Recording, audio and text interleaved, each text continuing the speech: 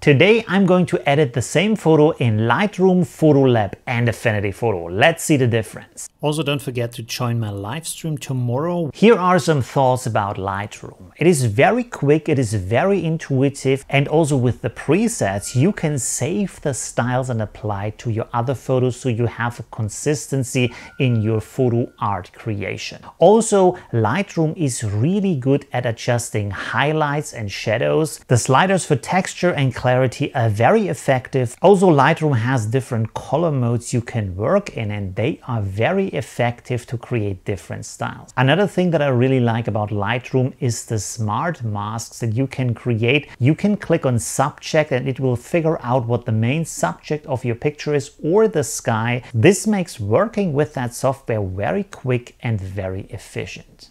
One of the big downsides of Lightroom, of course, is the monthly subscription. But if you get it in a bundle together with Photoshop, Camera Raw, Lightroom Classic, Lightroom, and all the apps you can get for your smartphone and tablet, the deal is actually really good. Let's start out this comparison with Lightroom Classic. I want, of course, to brighten that image up a bit. Let's go like that. Then one thing that Lightroom is really good at is recovering highlight and adjusting shadows. So I can bring my highlights back. As you can see here, the sky is coming back, but now the rest of the image is bright. And when I adjust the shadows, this is actually just adjusting the shadows, not all of the dark parts of the image. So can I bring this up here a little bit like so, actually close to normal. So let's go with this, bring down the white values. Let's see about the black values. Okay, let's leave it like that. Texture, Clarity can be really useful. Look at the ground here. When I move up clarity, what is happening to the ground and the details in the image. So that can be really useful, but I don't want to have that on all of the image. So what I'm doing here is I'm going up to mask.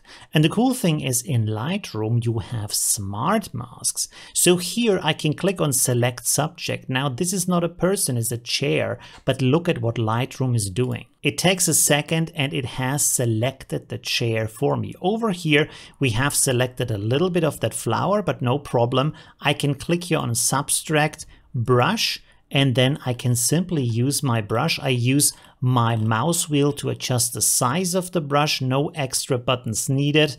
And then I can simply brush these areas out that I don't want to have in my selection, just like that. Look how easy that is. Now that we go back to the mask, we have a lot of adjustments, not all of them, but a lot of them, and you can play around with them. So for example, here now, I can go with clarity and you see how I get more structure into my chair, more clarity. Let's go here with some more texture too, and then have a look at the brightness, a little bit more brightness, a little bit more contrast maybe too. Okay, so that is already pretty good, but I also want to have the ground here a little bit brighter. So for that, let's create a second mask here with a brush and then simply brush over the area down here a little bit. Give me more brightness down here. Give me more clarity down here. Look at that. Beautiful. Some more texture maybe. It's pretty nice. And then, of course, you can readjust the mask if you want you can paint in there a little bit more. Actually let's bring everything down here to a little bit more brightness and then I'm going to darken that afterwards. Again no problem. All right so that already looks pretty good. Let's go here create another mask for a linear gradient. Pull it up like this and then you can push this outward so only the softer part is in here and I'm going to reduce the exposure down here again but now, of course, I have to control that I can move that around because I just want to have some more light down here on the beginning of the chair. Now here's another trick that you can do. Let's create another mask, select subject. Now I can go in here, click on subtract, linear gradient, and I can go like this. And you can see that this now will create a mask that is just inside of the chair and only applied over here because that part is reduced from the chair. So that means now when I reduce the exposure, I can make that part of the chair a little bit darker than the side up here. And this is like digitally relighting the scene. So you can see that is really quick and easy. Let's click on the masking tool. So we are going back to our normal adjustments and let's play around with some more settings here. For example, as you know, I'm a huge fan of vignettes. So down here we have the vignette tool. Let's make the outside of the image a little bit darker so we have more center focus. Then go up here, bring some more vibrance in here bring maybe a little bit more saturation, already looks pretty good. And then you have color profiles. Now, those are a little bit like LUTs in a certain way. There is some from Adobe, but then you can also click and on browse and get even more. And here you have, for example, this one, which is called Modern 6 and this gives really beautiful interesting colors. But you can go simply mouse over them and they will give you a preview of what is going on in your image. Let's close that. And one thing I also want to have is these flowers here a little bit brighter. Let's go back into the mask, have my brush here, make the brush smaller and then paint a little bit over these flower heads here. And then there we go. Bring up the brightness bring down the highlights a little bit, bring me some more textures for the flowers. And that I would say is it for our adjustments. Here are some thoughts about DxO Photolab. It's a very capable software and I like the analog style it has. Also, you can choose from different camera bodies and also have a small selection of different analog films you can apply to your photo. You can create presets and with the Elite version you have some advanced features like deep prime noise reduction which is very effective. Also you get access to an effect that is called Clear View Plus and is extremely effective to get more room and more structure into your picture. Downsides of Photolab are that the preview often is a little bit blurred unless you are at 100%. This makes it a bit difficult to adjust things like micro contrast and texture in your images. And also that you don't see the effect of noise reduction 100% unless you export the image. In here, I'm going to Smart Lighting. It's one of my favorite sliders. This will adjust the image based on what is found in the image. That is very useful. As you can see here, very quick, just one slider does a lot of stuff for you at the same time. Really beautiful. Now you also have your contrast and micro contrast. I really love micro contrast because this gives the image a lot more detail. It's similar to what you get with texture and clarity in Lightroom. So let's have this a little bit up here. And then we can bring down the highlights a little bit. Let's look here, the shadows, we can bring those up a bit. But you can see in comparison to Lightroom, the shadow tool here takes everything that is a little bit darker, not just the shadows. In this regard on adjusting shadows, Lightroom is the king. Let's go with the midtones here. We can apply that a little bit. And then we also have here our color adjustments. For example, we have vibrancy and saturation, same as in the other program. And you have here, this is a special for Photolab. You have generic rendering, but then also other rendering types. But on top of that, you can go here with camera bodies. And in here, you have a long list of different cameras from different companies that you can apply to your photo and see how that looks. Right now I'm going to go with the generic rendering. Down here we have our white balance, of course. We can, for example, try to make this image a little bit warmer. That might be nice. So that already is pretty good. Now, again, here we have some local adjustments. They function a little bit like masks. And when you click on that, when you right click now over the image, you get a selection of tools. You have a brush here, then you have an auto masking brush. You can have control points, you have control lines, you have gradient filters, and of course, erase and reset. So let's go here with the auto mask. I'm going to paint in my chair here because here we do not have the ability to just click select subject. I have to hold my control key and then use the mouse wheel to make my brush bigger and smaller. And now I can just paint over that. But you can see how much more time this uses to make a simple selection of that chair. So now that we have this down here, we have our adjustments. And with that, for example, I can make the chair darker and brighter if I want to.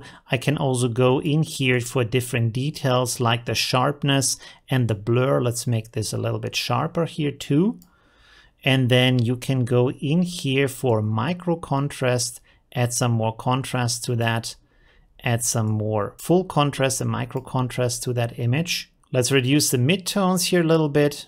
So let's create a second mask in here and we are going to use the auto mask again. And you can see here, when I have a bigger brush and I brush over this and I'm not exactly very precise with what I'm doing, the auto mask is going to save me from that. But I'm using the adjustments. You can see that this is actually not going to be on the sky. It's just going to be on the chair. So I can actually also make this side of the chair a little bit darker. Let's create another mask here for our flower heads real quick, like that. There we go. You can see that right now the tools are in the way of painting the mask here. So hitting the E button, you can see here show and hide equalizer. This will hide these tools and now I can go over that and I have adjusted that. Hit E again and I can go here and make my flowers brighter and then also give them some more micro contrast in here. Finally, let's use a normal brush, make it really big down here on the ground and then bring this part up, add more contrast to it, add more micro contrast to that, reduce the vibrancy a little bit down here like so. And then I want to zoom out here. We can again create here a gradient filter like that. Move it up a little bit like so. Bring down our brightness in that area. So now we have our local adjustments. Let's bring this back to full view. Go here to colors and here we have our color channels, but you can also color pick if you want to. We have the blue of the sky, so you can see I can move this around move this a little bit over to have a similar teal look as in the other picture like so. Let's go to detail. Here we have denoise technology. You have high quality prime and deep prime. Deep prime is part of the elite version. You can see high quality is not that good. Prime is already pretty good as you can see here and deep prime is even a little bit better but prime already does a pretty good job with that. Here are some thoughts about Affinity Photo. It's of course the most versatile tool of them all. You can use it with hundreds of layers, adjustments, filters, everything you want to do. Affinity Photo is especially good when you want to go really deep artistically, work with a lot of layers, have overlays, a lot of effects in there, adjustment layers, and want to go really deep and intricate with your photo. On the other hand, this software is made for working on individual photos, so it doesn't really allow you to create presets from your edits, and this also means you can't apply them to a series of photos afterwards. The raw editing is severely limited in the developer persona and even in the normal photo persona, the adjustment of shadows and highlights is not as good as in Photolab or Lightroom. Now we are in Affinity Photo and when you open up a RAW, you are in the developer persona. Here you have some basic tools on the side, exposure, enhance, white balance, stuff like that. Now we let's bring up the exposure here.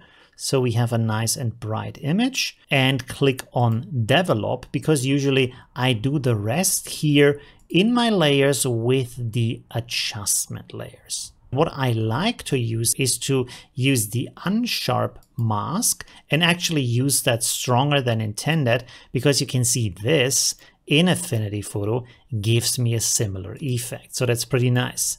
And in Affinity Photo, every of these live filters and adjustments has a mask built into that. This is really useful for me because now I can go here to layers invert. So the effect is applied to nothing, zoom out again, and now I can simply use a normal paintbrush and white will make the effect visible and black will make the effect invisible. I can adjust the size and the hardness of my brush by holding Ctrl and Alt, clicking and moving my mouse to the right as the size, moving my mouse up and down is the hardness. So with that, as you can see, I have a big brush.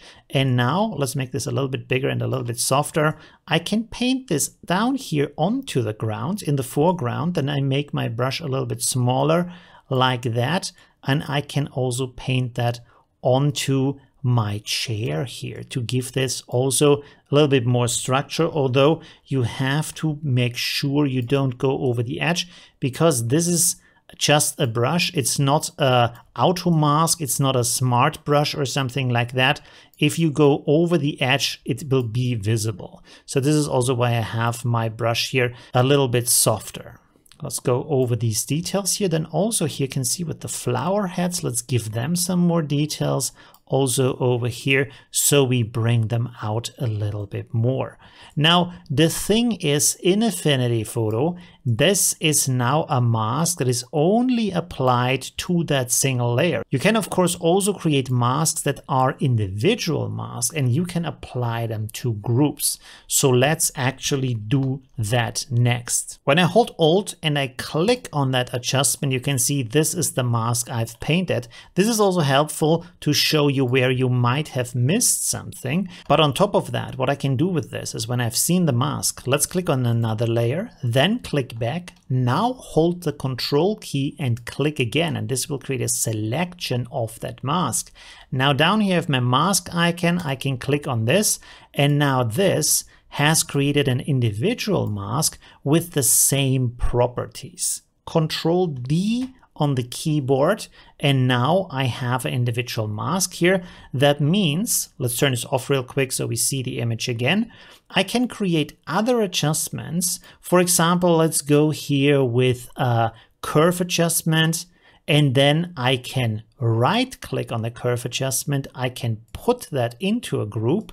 And now when I have a mask layer, let's turn that on again drag it on here so you have the short blue line, not the long blue line. This becomes kind of a clipping mask in that regard. And you can see now if I'm using my curve, pulling this down, pulling this up, I'm using the exact same mask for that area. So that can be really useful. So for example, let's pull this down here a little bit, pull that up a bit more, and that will give me some more contrast in that area we are also able to combine these masks. So in that case, what I want to do here is I create another curve adjustment, but this time outside of the group. Now I click on my mask layer, right click, duplicate like that, and I will pull this up here over my curve layer. Now look at that. That's a pretty interesting trick here. First of all, open up this curve adjustment, pull it down so it's darker like that. Now I'm going to use my gradient tool over here and pull out a gradient as you can see from the top left. This is black to white like that. This part is dark, this part is brighter, but I only want to have that on the chair. So what I'm going to do here is I turn on my mask again, and again I'm pulling it onto my curve layer with the short blue line. So now when I turn this on and off, you can see that only the side of the chair, and in this case also the ground, is darker. So how do we fix the ground in that case? Very easy. Go into the mask, hold Alt, click on the mask so you see what's going in here, and then simply take a black brush and paint all of that stuff here out that we don't want to have that we created beforehand like this. Very easy, you see. So there we go. Let's click on another layer so we only see the mask again and then click on Alt again so we have a little bit of a comparison. I would say that's pretty much in the same area. So when we turn this on and off, you can see that only the lower part of that image now is darker. Now for the vignette, I like to create custom vignettes. So let's create another curve adjustment here. I will pull this side down so everything is getting a little bit darker in the image. I'm using layer invert in this case, this is going to invert the mask on my layer using white as a color so I can paint that back in, making my brush very big and very soft at the same time. And then I can simply paint here around the outsides where I feel that I want to have that kind of mask. Here you can see this is going to create a vignette for me.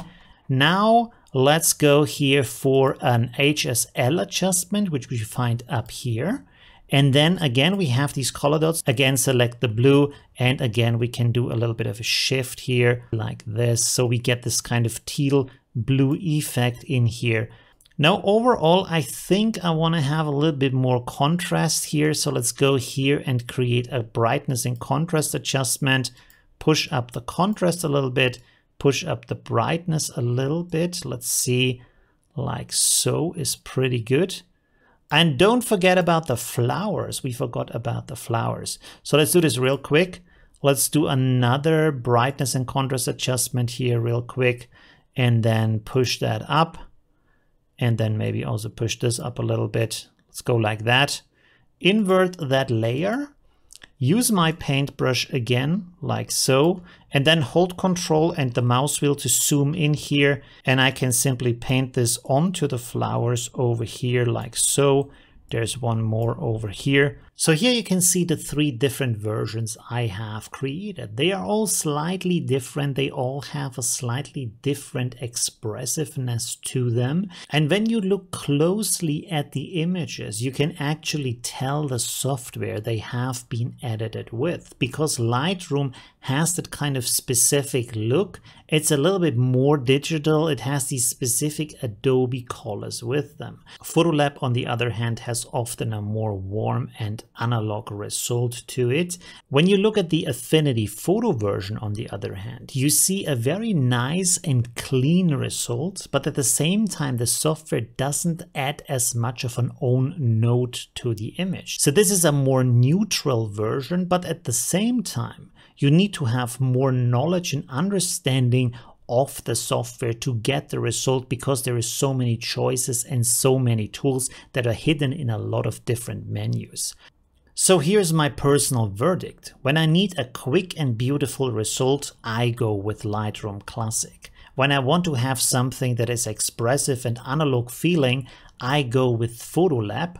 And when I want to have something where I have full control over everything I'm doing, I go with Affinity Photo. So my workflow usually is that I either start in Photolab to do the raw adjustments and create a nice look and then finish it up in Affinity Photo, or I start out in Lightroom and then finish it off with Nik Collection to add some artistic effects to it. Sometimes I use all three when it's a really deep and intricate edit, so I can use the best of all the three worlds. Please discuss the software choices in the comments. Thank you very much for watching and see you soon. Bye!